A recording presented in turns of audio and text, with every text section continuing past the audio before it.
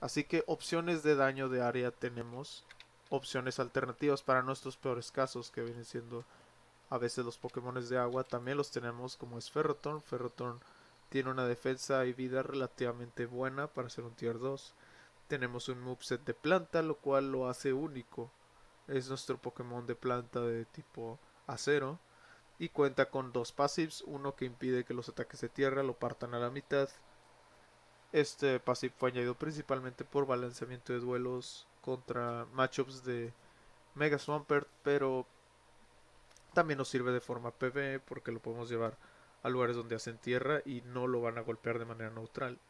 Y tenemos un passive que básicamente lanza piquitos a su alrededor como si fuera el passive de Quillfish, pero es tipo acero este passive. Sus efectividades solamente dos tipos lo pueden golpear de manera efectiva, uno super efectivo que será por 4 y uno efectivo que será por 1. El resto de estos ataques sería normal, aunque el ground por el passive pasa siendo a ineffective y el resto de los ataques no le hacen casi nada.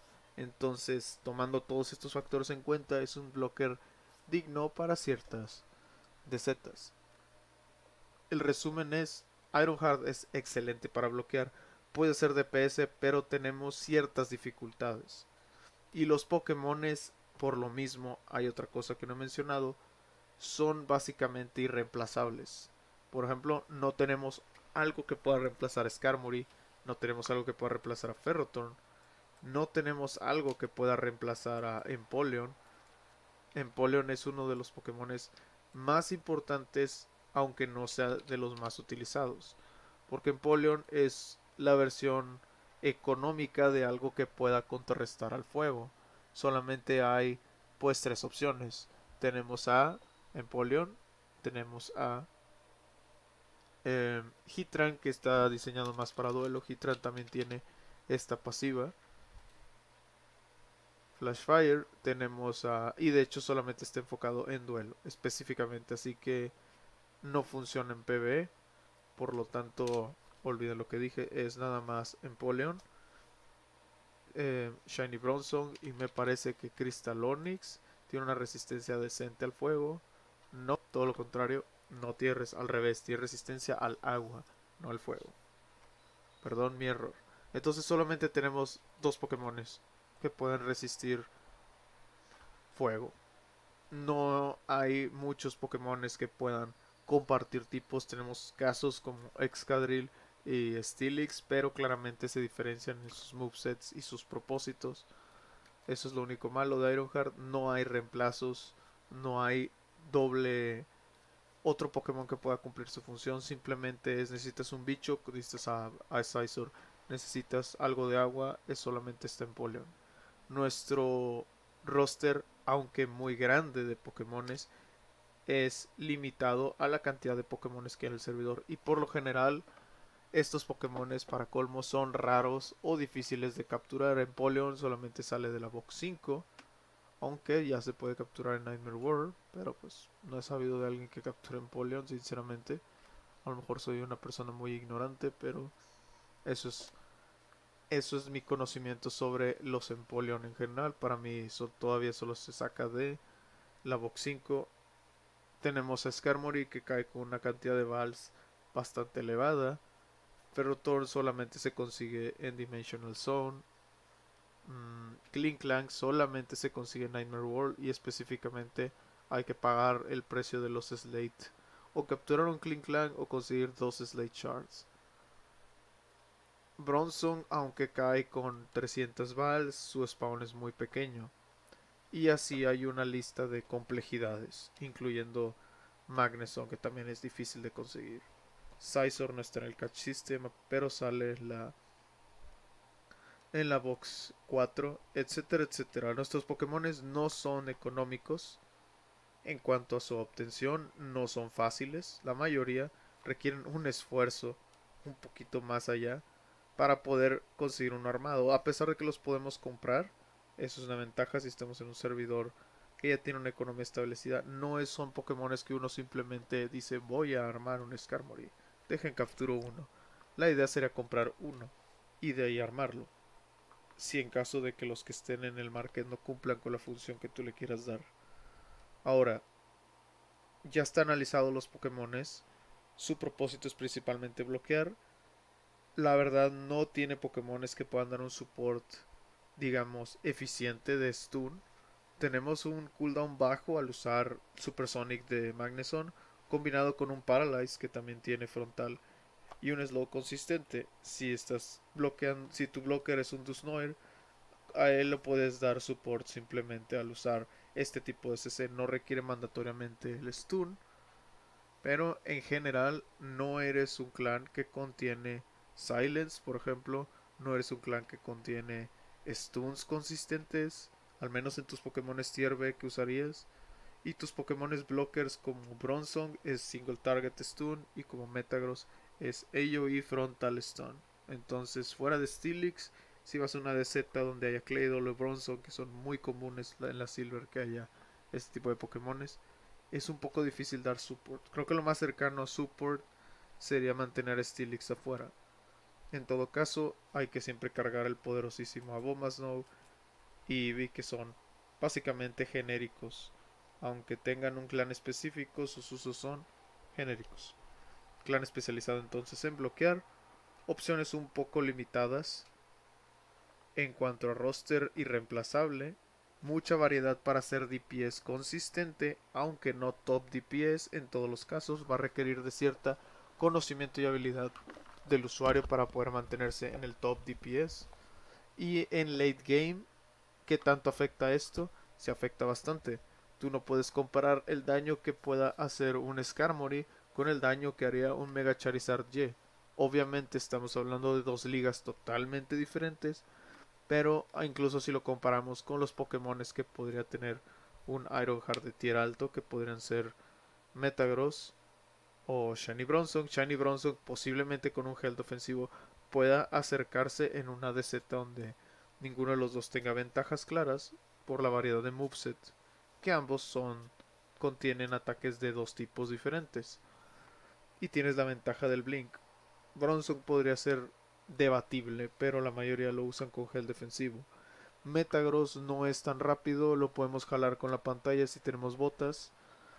Pero insisto, Metagross también se enfoca en gels defensivos, así que esencialmente no tenemos por ahora tier 1 accesibles enfocados en daño. En cuanto al leveling de disculpen, en cuanto al leveling de Nightmare World, pues Clink Clank sí cumple su función. Con Clink Clank puedes hacer prácticamente tu daily enteramente solo, lureando de 3 a 5 Ralts, puedes lurear 3 a 4 porque los los Sneasels, los Pokémon de hielo son un poquito más duros, pero también tienes a Scizor, Scizor se puede usar perfectamente en hielo, Scizor se puede usar perfectamente en Grumping, digo en Grumping, en Spoinks, eh, en pelea, en pelea, en Roca, con la prevolución de Rampardos, cuyo nombre olvidé. Híjoles, la verdad no me acuerdo de la preevolución de Rampardos, pero lo tengo capturado. Este es el 400 cigarras. Aquí está, Cránidos, perdón. Cránidos puede ser, es uno de los hunts de Ironheart más bizarros, porque puedes ir con casi cualquier cosa. Yo probé con Shiny Lucario, me funcionó. Probé con Steelix, me funcionó. Entonces tienes un par de opciones extra para ir a Rampardos, digo a Cránidos. También funcionó Clink Clan, pero pues ya es la que te convenga más. También está la hunt de Mok, bueno, en este caso, insisto, si no eres 400 Plus, vendrían siendo los Grimers y los Alolan Grimers. Ahí fui con Steelix y con Bronson y tuve más éxito con Steelix porque mi Bronson es de Lucky y tengo dos Steelix. Llevé el primero el Steelix de Lucky y el daño era bueno. Llevé un Steelix de ataque y el daño era hermoso. Simplemente hermoso. Entonces tenemos muchos lugares porque el Nightmare World puedes llevar esencialmente, si ya tienes device, un Pokémon Tier 2 con un health ofensivo de preferencia. En el caso de Scizor, mi Scizor tiene Harden, pero como se basa en counters, pues Harden le sirve un poco, digamos. Si cumple su función, no dudo que un Scizor de defense cumple su función probablemente mejor por la consistencia del buff. de defensa y un Scizor de attack con crítico o crítico con attack probablemente tenga mejor daño. Eso tampoco lo dudo. Pero por ahora mi Scizor cumple su función. No es como que yo vaya a psíquico siempre. Yo voy a otros lugares. Entonces puedo concluir que al menos en Nightmare World tener una alta variedad de Pokémones puede llevarte a múltiples spawns. No los mencioné todos. También está de hecho eléctrico. Olvidé mencionar ese. Hay muchos lugares a los que puedes ir como Ironheart porque cuentas con muchos Pokémones. Y si vas en dúo tienes una infinidad de posibilidades porque puedes dar support con Steelix, puedes hacer daño con, con Magneson, etcétera, etcétera. Tienes una infinidad de posibilidades en Nightmare World yendo solo y tienes muchísimas posibilidades, perdón, infinidad si vas con alguien y tienes muchas si vas solo. No necesitas Pokémon tier 1 para sobrevivir en Nightmare World. Para DZs Advanced y Expert, al menos en Gold, probablemente sí requieras tener un par de Pokémon tier 1 para poderte desempeñar de una manera eficiente. Pero en Nightmare World no es mandatorio esto. El clan, si lo ponemos en rankings de DPS, estaría entre el rango medio, hablando de Team DPS. Estamos hablando de Hunts de nivel 400 y Expert Dimensional Zone. Su DPS está entre medio, alto en algunas con, muy con casos muy excepcionales que vendría siendo Pelipper usando a Magneson, a pesar de que es un tier 2, este Pokémon es ridículamente fuerte ahí, especialmente si tenemos ataque crit combinado con nuestro device. Pero fuera de ciertos casos excepcionales, su daño neutral es medio. No es ni muy alto ni muy bajo. Y tienes que tener pues la, la cantidad de Pokémon tier 2 para poder moverte entre dichos. Bloqueando yo diría que es el segundo o primer mejor clan, depende del ambiente. Nexpert o Advanced Dimensional Zone claramente es Malefic por Dusnoir. En Nightmare World, el Nightmare Environment nerf que le hicieron a Dusnoir afecta directamente su desempeño. Dusnoir, al ser tipo fantasma, puede evitar muchos ataques, pero al, al tener Nightmare Environment y que cualquier, esencialmente cualquier spawn le puedan golpearlo y quitarle el heal de la pócima hace que pues todas estas ataques que lo golpeen normalmente incluyendo normal que normal está aquí normal pasa acá. Entonces es muy fácil mantener golpes no tiene muchas resistencias. Lo que lo hace fuerte es que los autoataques no le pueden quitar el heal. Si los autoataques le quitan el heal entonces ya no es un Pokémon tan resistente como antes a pesar que tiene stats muy altos y tenemos pues Spirit Bomb. Pero fuera de eso, Dusnoir sigue siendo top tier, no se confundan. Solamente que Steel es un poco más estable y más resistente en Nightmare World. Pero en Dimensional Zone no lo discuto, Dusnoir es el mejor. Dicho esto, support, el resumen es, como support en late game es bajísimo, casi nulo Solamente tenemos Steelix y Magneson para dar un support más o menos decente. Y Ferrotorn que es bizarra. Sinceramente yo no usaría Ferrotorn para, con los spikes para dar support. DPS tenemos medio en late game. Y blocking tenemos Gautier básicamente en Nightmare World. Y segundo lugar y debatible en Dimensional Zone. Incluso el estar en segundo lugar no quiere decir que la diferencia sea abismal, simplemente pues no eres mejor y se acabó. Ahora, el dinero que puedes hacer, que le puede interesar esto a los niveles bajos, las hunts de las mejores hunts del juego en cualquier servidor son las hunts que proporcionan objetos a los adventurers y a los profesores. Estos objetos son cazados principalmente por Ironheart. Ironheart puede sacar electric boxes con Steelix puede cazar Mawiles que te tiran la Metal Jaw con Steelix, pueden cazar los Metangs con Steelix, pueden cazar los Dog Ears, que de hecho pues viendo lo que se ocupa para Adventurer, esto lo podemos sacar con Steelix, esto lo podemos sacar pues con Bronson porque realmente están un poco aguados los Claydolls. Esto no lo podemos precisamente sacar, especialmente si son niveles bajos, ya que Ground y agua, resisten un poquito metal y no podemos llevar ahí nuestro Steelix. Y Bronzong no sería tan fuerte contra este Pokémon. Pero la buena noticia es que tanto los Post como los Black Fins son de precios muy económicos. Los Hunts más caros vienen siendo los Metal Jaws, los Techballs, las Dog Ears, madre de Dios, y los Mini Wings. De todos estos objetos para crear el ítem más popular y usado por Adventurers, podemos sacar los Metal Jaws, Mini Wings, Techballs y Dog Ears. Y son los más caros. Si tú te metes en tu servidor y buscas en diferente, en el cliente, las profesiones en los high scores, vas a ver que siempre, al menos en el caso de Adventurer, y puedes revisarlo en demás servidores, va a haber 100 de 100 Adventurers Skill 100, pero no va a haber, no va a ser el mismo caso para todas las profesiones en todos los servidores. Ahora, dicho eso, tenemos a Bronson para las mejores hunts. Tenemos también hunts de leveleo y XP, que es como su King, que no tomaríamos daño con Bronson, esencialmente. Así que tanto su fase de leveleo como su fase para hacer dinero es bastante simple. El Pokémon es muy económico.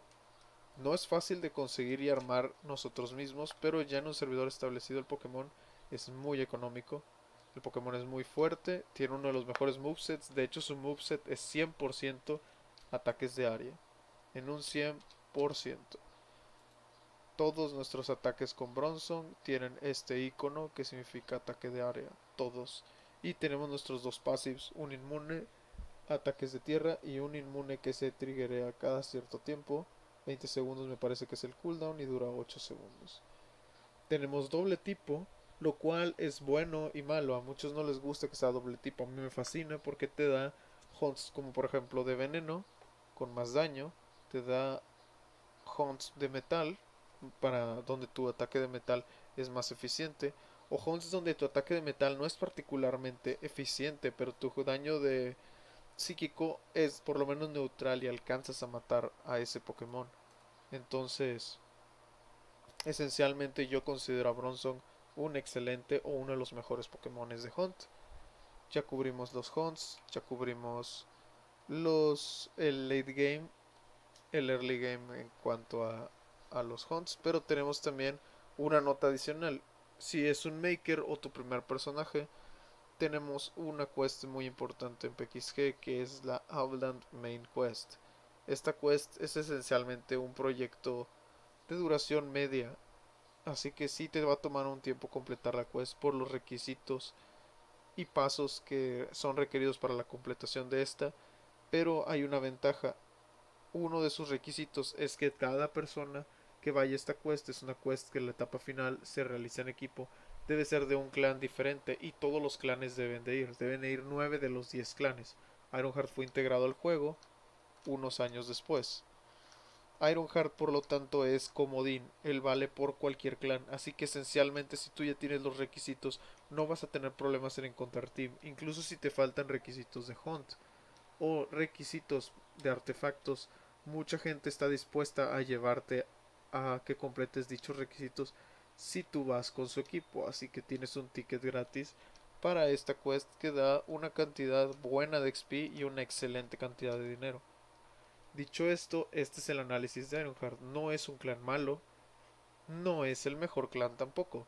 Se especializa en bloquear. Si te gusta bloquear, entonces para ti va a ser uno de los dos mejores clanes del juego. Pero si te gustan a ti ver numeritos grandes, ataques de área llamativos, este clan definitivamente no es para ti su viabilidad es completa y su popularidad de nivel alto es bastante. Su team no es tan caro. Dicho esto, vender la Mega Stone y completar la Brotherhood te puede conseguir un Crystalonix o un Metagross, dependiendo el caso y dependiendo del servidor.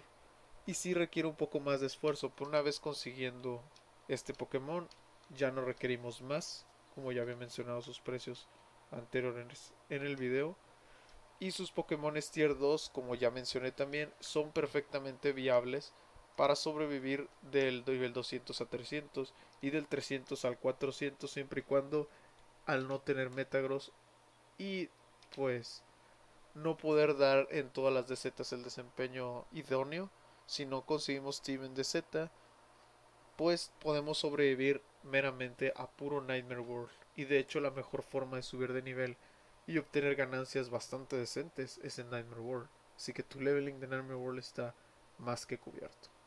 Yo me despido. Soy Lifubir y ese fue el análisis de Ironheart. Probablemente haya omitido detalles, espero no haberlo hecho. Si les gustó el video den like, suscríbanse y demás. La campana solamente es, insisto, no es mandatorio y solamente si el video realmente te gustó. Dicho esto, me despido. Bye bye.